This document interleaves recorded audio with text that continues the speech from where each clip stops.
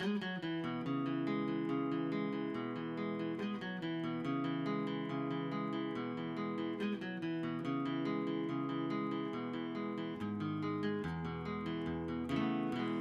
empty in the valley of your heart.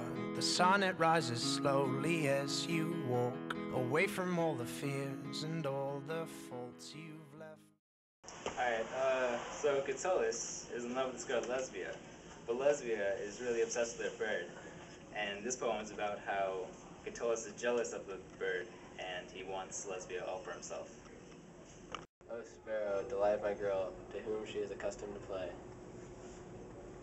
Ludere. Oh, playing with my sparrow. Sparrow, want to take a ride on a golf cart? With whom she is accustomed to hold in her lap. Tenere. To whom, if she is accustomed to give her first index finger, and she is accustomed to provoke sharp bites. Incitare. Incitare, the word meaning to provoke, is a complementary infinitive.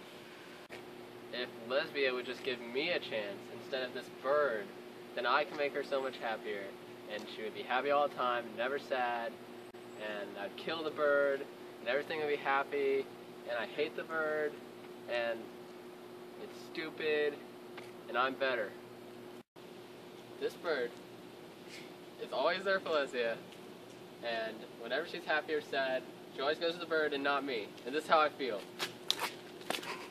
Out of your cave, walking on your hands, and see the world hanging upside down.